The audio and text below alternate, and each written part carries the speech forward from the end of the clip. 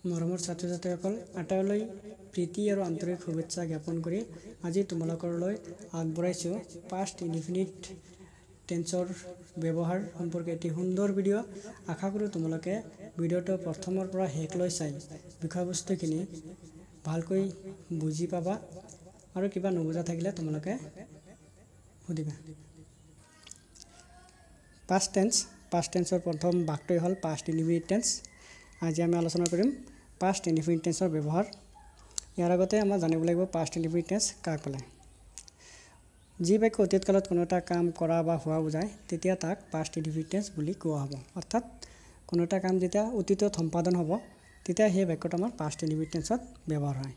ইয়াত বৰ্তমানৰ লগত কোনো ধৰণৰ সম্পৰ্ক নাথাকে। পাষ্ট ইনডিফিনিট টেন্সৰ বাক্য এটা গঠন কৰোঁতে ইয়াৰ গঠন প্ৰণালী মতে সজাব লাগিব। ইয়াৰ গঠনটো হৈছে subject plus main verb two plus object বা এক্সটেনশ্যন প্ৰথম ছাবজেক্ট থাকিব লাগিব তাৰপিছত মেইন বাৰ্ব টু তাৰপিছত অবজেক্ট বা এক্সটেনশ্যন ইয়াত আটাইতকৈ গুৰুত্বপূৰ্ণ কথা হ'ল কি পাষ্ট ইনভিটেঞ্চৰ বাক্য এটা শুদ্ধকৈ লিখিবলৈ হ'লে মেইন বাৰ্ব টু লাগিবই। মেইন বাৰ্ব টু নহ'লে বাক্যটো পাষ্ট ইনভিটেঞ্চত ব্যৱহাৰ কৰিব নোৱাৰিম বা গঠন কৰিব নোৱাৰিম।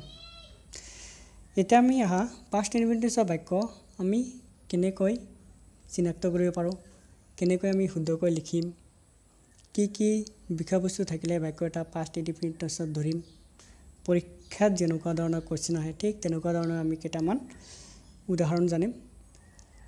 তাৰে প্ৰথম নিয়মটো হৈছে যদি কোনো এটা বাক্যত ষ্টাৰ্ডে ইয়াগ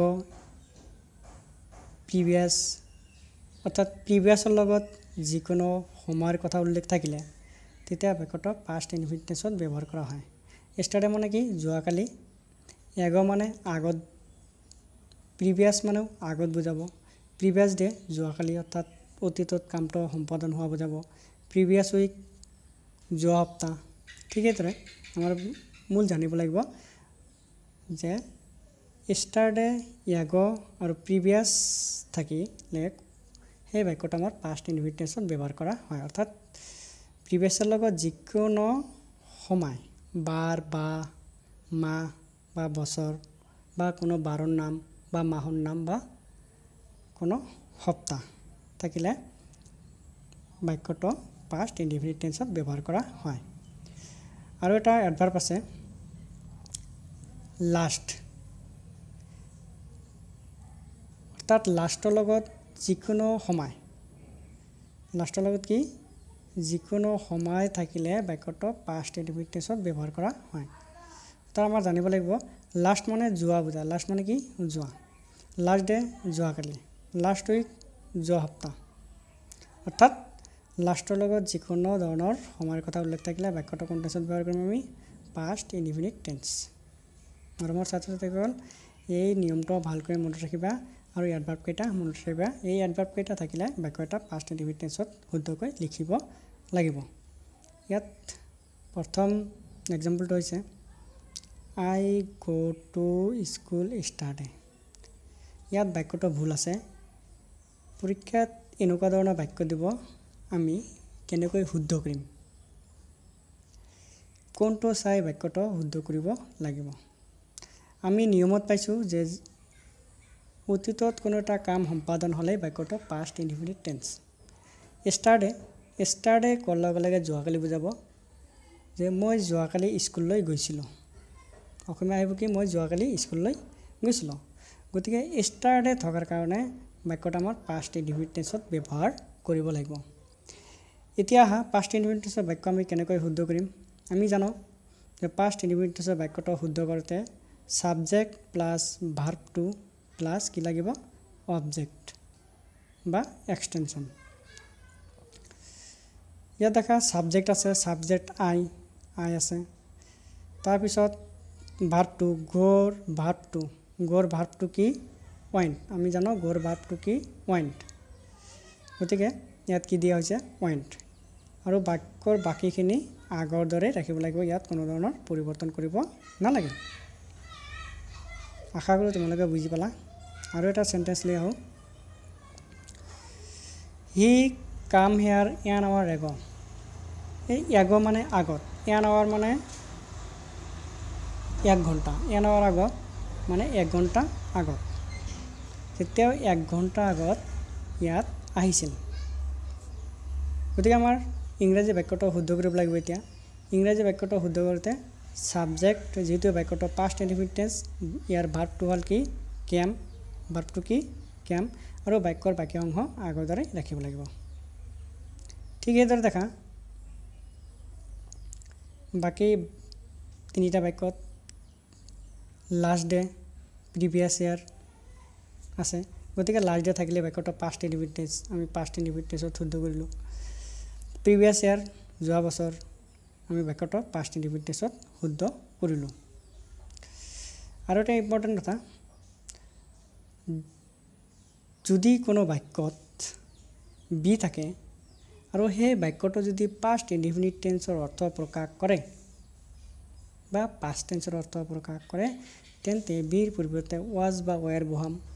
নাইবা পাষ্ট পাৰফেক্ট টেন্স বেলেগ আহিব হেড বিন গতিকে যিহেতু আমি পাষ্ট ইনডিফিনিট টেন্স আলোচনা কৰি আছোঁ তেতিয়া আমাৰ অহা ওৱান্স আপন এ টাইম মানে এইখিনি এটা সময় এইখিনি কি এটা সময় এডভাৰ্ব এই সময়ত আই বি ইন দিল্লী যে মই ক'ত আছিলোঁ? দিল্লীত আছিলোঁ। এতিয়া এইখিনি হ'ল পাষ্ট ইনডিফিনিটেছৰ এটা সময় নিৰ্দেশ কৰিছে আৰু এইটো হ'ল অতীতৰ সময়। গতিকে বাক্যটো পাষ্ট ইনডিফিনিটেন্সত শুদ্ধ কৰিম। পাষ্ট ইনডিফিনিটেন্সত শুদ্ধ কৰোঁতে বিৰ পৰিৱৰ্তে কি হ'ব? ৱাছ কি ৱাছ হ'ব? তোমালোকে আগতে পাইছা যে আইৰ লগত সদায় ৱাছ ব্যৱহাৰ হয়। বহু বচন হ'লে ৱাইৰ হ'লে হয়। আকৌ এটা কথা মনত ৰাখিবা যে পাষ্ট ইনডিফিনিটেন্সৰ বাক্য এটাত বন্ধনীত বি থাকিলে বিৰ পৰিৱৰ্তে ৱাজ বা ৱায়াৰ ব্যৱহাৰ কৰা হয়। যদি সাধাৰণ বাক্য হয় তেতিয়া ৱাছ হয় আৰু যদি সেই বাক্যটো অবাস্তৱ কল্পনা বুজায় তেতিয়া ৱাৰ ব্যৱহাৰ কৰা হয়।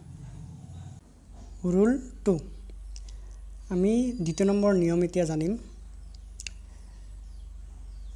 আই উইচ নাইবা it is time I wish নাইবা ইট ইজ টাইমৰে যদি কোনো এটা বাক্য আৰম্ভ হয় তেন্তে সেই বাক্যটো পাষ্ট ইনডিফিনিট টেন্সত ব্যৱহাৰ কৰা হয়।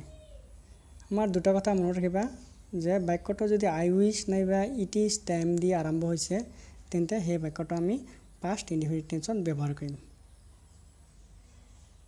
একেবাৰে চিম্পুল বস্তু। জাষ্ট এই দুটা বস্তু মনত ৰাখিবা আই উইচ আৰু ইট ইজ টাইম এই দুটা বহুত আহে ফাইনেলত এই দুটাৰ পৰা বহুত কুৱেশ্যন দিয়ে।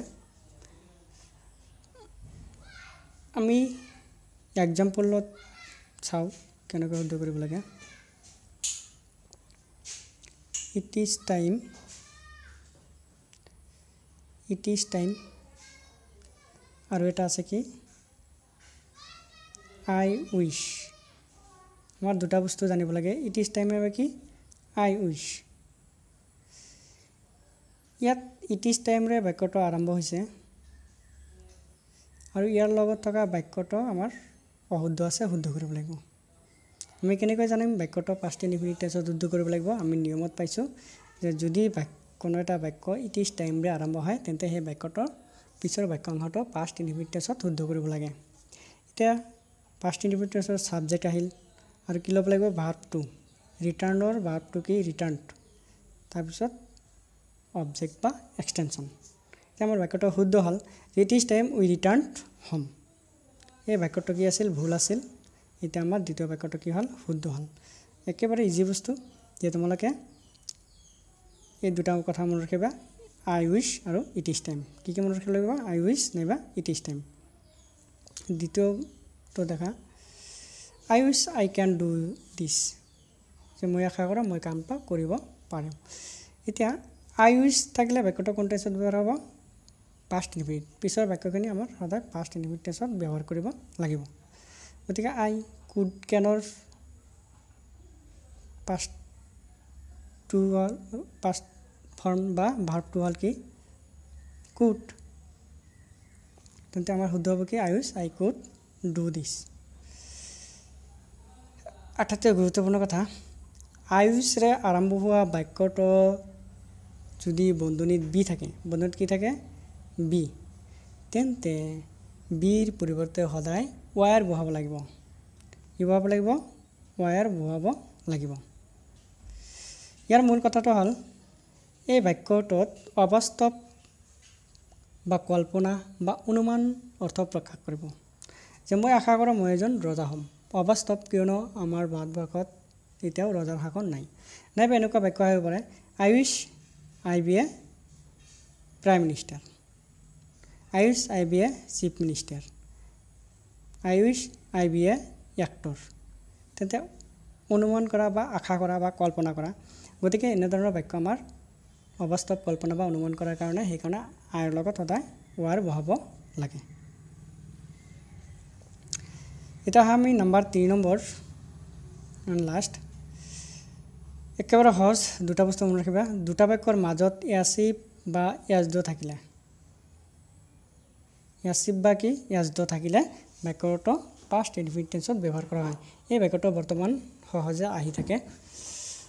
ক্লাছ নাইন আৰু টেনত যে I wish it is time দি আৰম্ভ হোৱা বাক্যটো পাষ্ট ইনফিনিট টেন্সত ব্যৱহাৰ কৰা হয়। ঠিক ঠিক সেইদৰে এই দুটা আমাৰ মনত ৰাখিব লাগিব যে ইয়াচিপ বা ইয়াজদ যদি দুটা বাক্যৰ মাজত থাকে তেন্তে ইয়াচিপ বা ইয়াজদৰ পিছৰ বাক্যখিনি আমাৰ পাষ্ট ইনফিনিট টেন্সত ব্যৱহাৰ কৰিব লাগিব। ইয়াৰ ইয়াচিপ বা ইয়াজদৰ আগত যিয়েই নাথাকক কিয় প্ৰেজেণ্ট ইনডিফিনিট বা পাষ্ট ইনডিফিনিট নাথাকক কিয় পিছৰ বাক্যখিনি আমাৰ কি কৰিব লাগিব? পাষ্ট ইনডিফিনিট টেন্সত ব্যৱহাৰ কৰিব লাগিব। আমি এক্সাম্পল হিচাপে আলোচনা কৰোঁ। Number one he behaved as if he knew no' everything দুটা বাক্যৰ মাজত কি আছে? ইয়াচিপ আছে। ইয়াচিপ থকাৰ কাৰণে পিছৰ বাক্যাংশটো কি হ'ব পাষ্ট টেন্সত ব্যৱহাৰ হ'ব আৰু নৰ ভাৱটো কি ইয়াত নিউ একেবাৰে সহজ যে ইয়াচিপ বা এজৰ থাকিলে পিছৰ বাক্যখিনি পাষ্ট টেন্সত ব্যৱহাৰ কৰিব লাগিব ইয়াত এটা গুৰুত্বপূৰ্ণ পইণ্ট হ'ল ইয়াচিপ বা ইয়াজদৰ পিছৰ বাক্যখিনিৰ বন্ধুনত যদি কি থাকে বি থাকে বিৰ পৰিৱৰ্তে সদায় ৱাইৰ ব্যৱহাৰ কৰিব লাগে কাৰণ ইয়াত অবাস্তৱ কল্পনা বা অনুমান কৰাৰ অৰ্থ প্ৰকাশ কৰিব তোমালোকে আগতে পাইছা যে অবাস্তৱ কল্পনা বা অনুমান কৰা বুজালে পাষ্ট টেন্সত বিৰ পৰিৱৰ্তে ৱাইৰ ব্যৱহাৰ কৰা হয়। আশা কৰোঁ তোমালোকে বুজি পাইছা। পাষ্ট টেন্সৰ এটা নোট তোমালোকে ভালকৈ বুজিবলৈ চেষ্টা কৰিবা।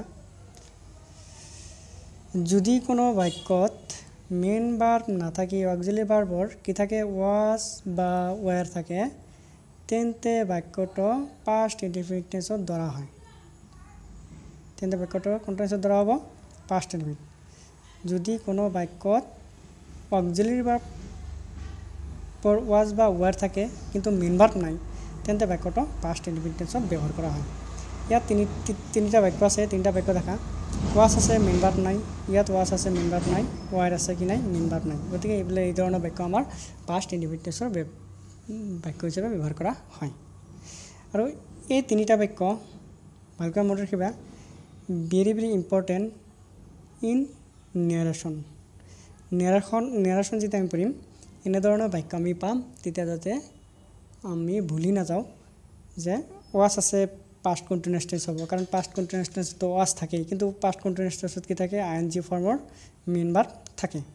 কিন্তু ইয়াত কোনো ধৰণৰ ভাৰ্ব নাই। গতিকে এই ধৰণৰ বাক্য আমি পাষ্ট ইনডিফিনিট টেন্সত ব্যৱহাৰ কৰিম।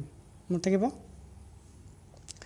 আশা কৰোঁ তোমালোকে ভিডিঅ'টো চাই পাষ্ট ইনডিফিনিট টেন্সৰ ব্যৱহাৰ সম্পৰ্কে সামগ্ৰিক জ্ঞান লাভ কৰিব পাৰিছা। তোমালোকে ভিডিঅ'টো প্ৰথমৰ পৰা শেষলৈকে চাবা আৰু নিয়মবিলাক বহীত লিখি ল'বা। ভিডিঅ'টো শেষ কৰাৰ আগতে তোমালোকক আকৌ ৰিভাইজ কৰি দিওঁ। যে পাষ্ট টেন্সৰ বাক্য এটা শুদ্ধকৈ লিখিবলৈ হ'লে সদায় ভাৰ্বটো হ'ব লাগিব। পাষ্ট টেন্সৰ বাক্য আমি কেনেকৈ ধৰিম? যদি কোনো বাক্যত ষ্টাৰ্টে এগ প্ৰিভিয়াছ আৰু প্ৰিভিয়াছৰ লগত যিকোনো বাৰ বা মাহ বা সময়ৰ কথা উল্লেখ থাকিলে বাক্যটো পাষ্ট টেন্সত ব্যৱহাৰ কৰা হয়। ইয়াৰ উপৰিও লাষ্ট লাষ্টৰ লগত যিকোনো সময় বা মাহ উল্লেখ থাকিলে বাক্য এটা পাষ্ট টেন্সত ব্যৱহাৰ কৰা হয়। এই তিনিটা বস্তু মনত ৰাখিলে আমাৰ বাক্য এটা পাষ্ট ইনডিফিনিট সহজে শুদ্ধ কৰিব পাৰিম। দুই নম্বৰ আমি পাইছিলোঁ যে যদি কোনো এটা বাক্য আয়ুষ নাইবা ইটিজ টাইমৰে আৰম্ভ হয়, তেন্তে বাক্যটো পাষ্ট টেন্সত ব্যৱহাৰ কৰা অৰ্থাৎ আয়ুষ বা ইটিজ টাইমৰে আৰম্ভ হোৱা বাক্যটোৰ দ্বিতীয় অংশটো পাষ্ট টেন্সত ব্যৱহাৰ কৰা হয়। ইয়াৰ উপৰিও আৰু এটা কথা, আয়ুষ দি যদি কোনো এটা বাক্য আৰম্ভ হয়, তেন্তে সেই বাক্যটোৰ বন্ধনীত বি থাকিলে, বিৰ পৰিৱৰ্তে কি বহাম? ৱাইৰ বহাম কাৰণ ইয়াত অৱস্থা কল্পনা বা অনুমান কৰা অৰ্থ প্ৰকাশ কৰিব। নম্বৰ থ্ৰী যদি কোনো এটা বাক্য মাজত অৰ্থাৎ দুটা বাক্য থাকিব দুটা বাক্যৰ মাজত এয়া চিপ বা এছ থাকিলে বাক্যটোৰ পিছৰ বাক্যাংশটো পাষ্ট ইণ্ডিমিট টেন্সত আমি ব্যৱহাৰ কৰিম। ইয়াত এয়া চিপ বা এছ আছে পিছৰ বাক্যাংশটো পাষ্ট ইণ্ডিমিট টেন্সত ব্যৱহাৰ কৰিম। আৰু বন্ধনী যদি কি থাকে বি থাকে বিৰ পৰিৱৰ্তে আমি সদায় ৱাইৰ ব্যৱহাৰ কৰিম। নেক্সট নোটটো মনত ৰাখিবা। যে যদি কোনো বাক্যত মেইন ভাৰ্ব নাথাকি অক্সিলি ভাৰ্বৰ ৱাজ বা ৱাইৰ থাকে তেন্তে বাক্যটো পাষ্ট টেন্সত ব্যৱহাৰ কৰিব লাগে বা পাষ্ট টেন্সৰ হয়। ৱাজ বা ৱাইৰ থাকি মেইন ভাৰ্ব যদি নাথাকে বাক্যটো কোন টেন্সৰ হ'ব পাষ্ট টেন্স